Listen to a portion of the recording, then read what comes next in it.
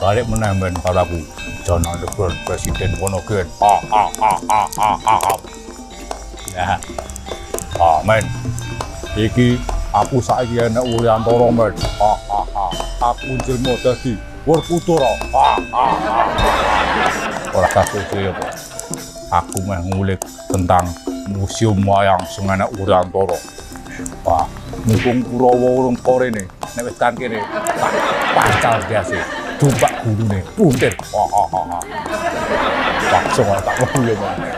Isin aku. Ayo, ayo. Yo, tung tung. Boleh.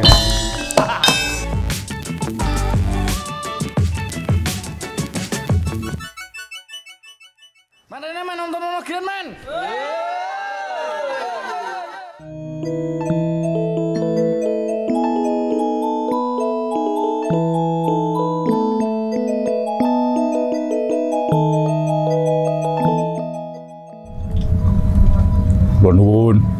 Kula nuwun. Langsung mlebu ae. Kayak pocongan aku. Nah, men. Nah, aku seneng musim wayang iki, men. Ya toh, dikancani karo kembaranku Werkudara. Iya, iya. Nah, tak ri wayang kunoban, men. Iki jenenge Semar. Nah, iki tahun 100 1716 sih digawe nih. Iki tuwa men. Yo luwih tuwa nih iki. Eh, ndi ding iki ding. 1900 eh ora ding tuwa iki. Yo tuwa iki, men. 1700 sih, men. Tuwek biat iki, men, ya toh. Nah, iki yo tuwek iki, men. 1911 tapi urung setuwa Semar. Nah, uniknya, men. Dari 1700 iki, men. Bentuknya jek apik iki, men. Dadi ini ora kusut, ora mekuk-mekuk ngono. Ya. Tirakate dulu ning mbiyen. Ayo, goleki narsune.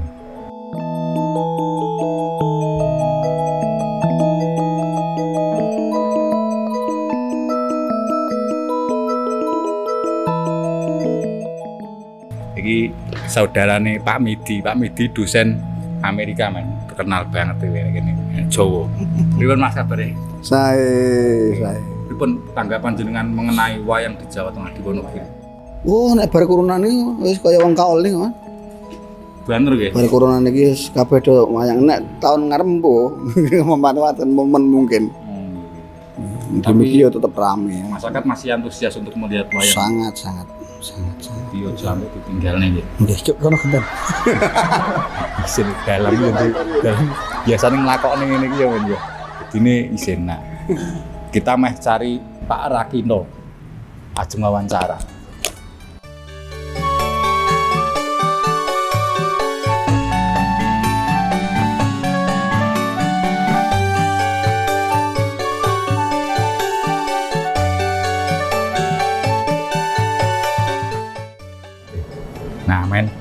Ya saya nafsume sekaligus pengurus eh, museum wayang ya Pak. Iya ya, Kali Pak Rakino. Pak Rakino ya Pak Rakino. Asli dari Wonogiri. Ya Wonogiri Berapa di. Anda? Eh, sudah 8 tahun.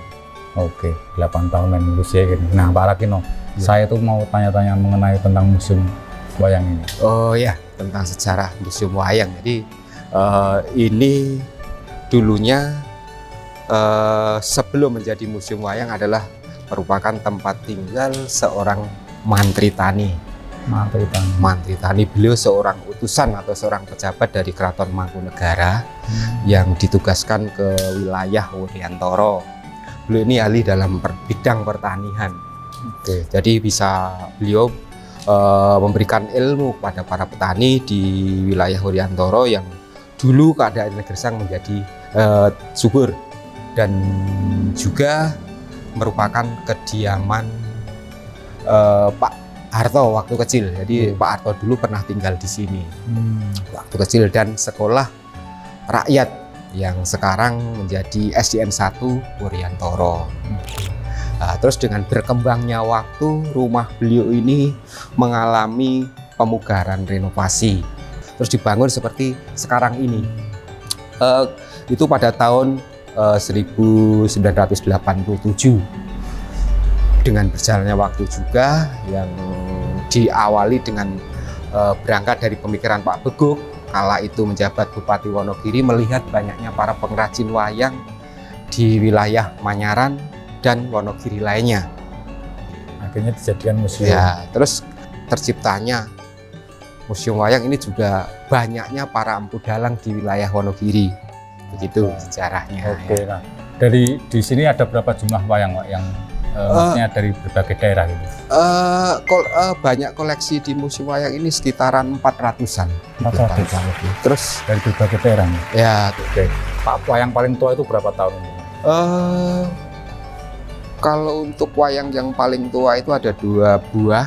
Yang satu itu Patih Udawa diperkirakan dibuat pada tahun 1714 eh, berasal dari Keraton Mangkunegara yang dihibahkan ke Museum Wayang ini. Eh, terus ada tokoh Semar yang menjadi ikon Yang museum itu. ini ya. Itu Kita di- bisa lihat sendiri. Ya. diperkirakan ini dibuat pada tahun 1716. Ini asli dari Dalang Wonogiri. Dari Jadi- Dalang Wonogiri. Iya, Wonogiri Ki Warseno Guno Sukasno dari Batu Retno. Dari Batu. Iya, ini sudah eh, turunan ke 16 ya, 16, turun 16. Terus yang satu Udawa itu Ada di dalam dalam Bisa proses. Pak? nanti bisa nanti. oke. Kayak. Oke. Terus ini ada wayang kulit purwa dari Surakarta. Versi Nah, ini- Surakarta. ya versi Sura- Surakarta ini pada tokoh Abimanyu Abimanyu anaknya Harjuna Iya. ini juga Wayang Purwo. Purwo ini apa? Pak? Yang Purwa sering disampaikan wayang ringgit Purwo. Ringgit Purwa itu pembukaan awal Awalan. Wah, Oh, Gindang. terus Terus ini ada wayang versi Jogja. Eh, sebenarnya nggak eh, perbedaannya itu hanya Nggak sedikit ya? ya nggak ya sih karena biasanya kalau Jogja ini agak gemuk agak Iya. gemuk tapi Kalau- kalau Solo agak ramping ramping, agak- ya. Terus ini ada eh, wayang mentah atau putih. Nah ini kenapa tidak diwarnai atau kenapa? Karena ini untuk bahan eh, pengertian untuk adik-adik kita di yang masih duduk di sekolah. Oke. Jadi mengalami eh, proses cara pembuatan wayang. Terus Pak saya pengen lihat wayang yang tertua tadi Pak. Oh ya boleh. Satunya lagi. Ayo main.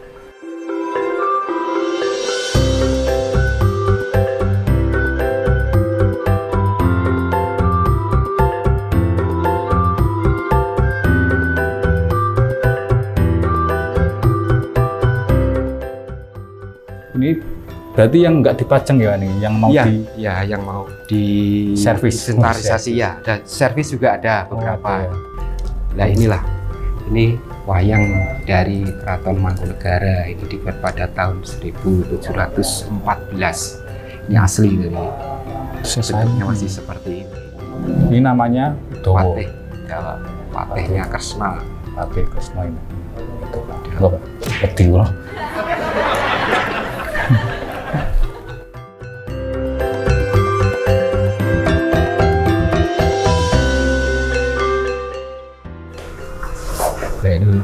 Kamar yang pernah ditiduri tahun 1980. Cuman ya sudah direnovasi, sudah dilebarkan, sudah ditinggikan. Tapi kalau letaknya itu ya memang di sini. Oke, berarti sehari ini yang memiliki Pak Soeharto. Iya Pak pernah, iya pernah, pernah tinggal. Ini bukti nek Pak Harto ini biyen cilikane nek kene dan waktu sudah jadi presiden sudah mengabdi sini juga kan? Iya. Nggih. Bapak mau peragen yang hotel ya Pak Harto ya. Iya. Ini kasurnya Pak Harto masih ini. Ya, Hmm.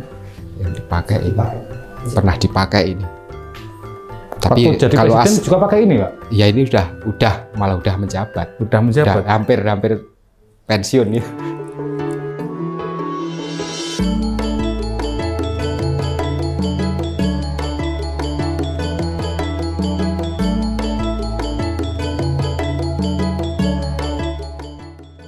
Aku merasakan makhluk astral di sumur ini. Wah, tambah. Apa nih? Nego sumur. Nggih iki ceritanya sing adus. Ngajeng siram. Iya, siram. Sekarang pun ini wow.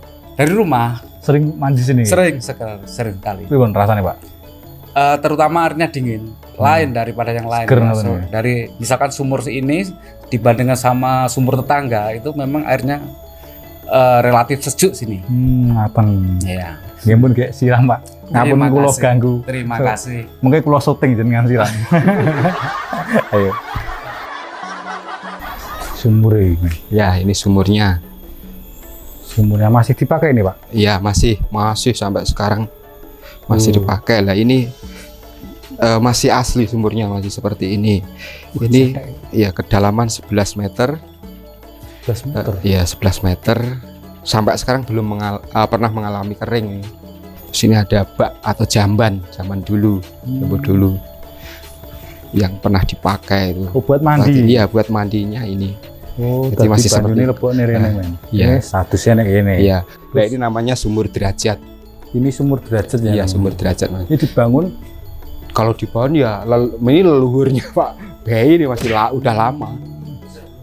Sebelum Pak Harto udah ada. Jadi ini leluhurnya Pak Prawiro.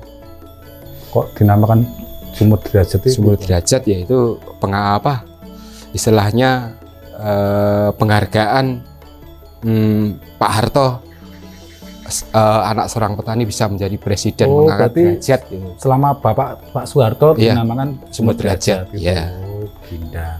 seperti itu. Nah, men. Dadi enek kene iki ora museum tok ternyata.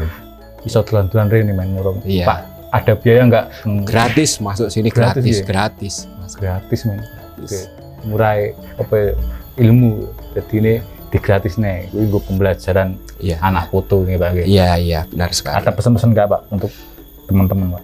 Ya, mungkin ini adalah sejarah ya. Ini juga merupakan sejarah yang perlu dikembangkan, dibudayakan gitu. Siapa pun, pihak mana pun yang pengen berkunjung atau pengen eh, istirahat, silahkan di sini. Tidak dipungut biaya, gratis. Oke, nah ngono men. Ditulang rene gen ngerti kowe kaya ngopo wayang, Iya. kaya ngopo apa kuwi kamare Pak Soeharto, kaya ngopo sumure sing dienggo atus Pak Soeharto ya. Iya. Men ngono aku jenenge Grand Presiden Nugrin ditemeni Pak Su Rakino. Sukus Parakino. Apa nuwun.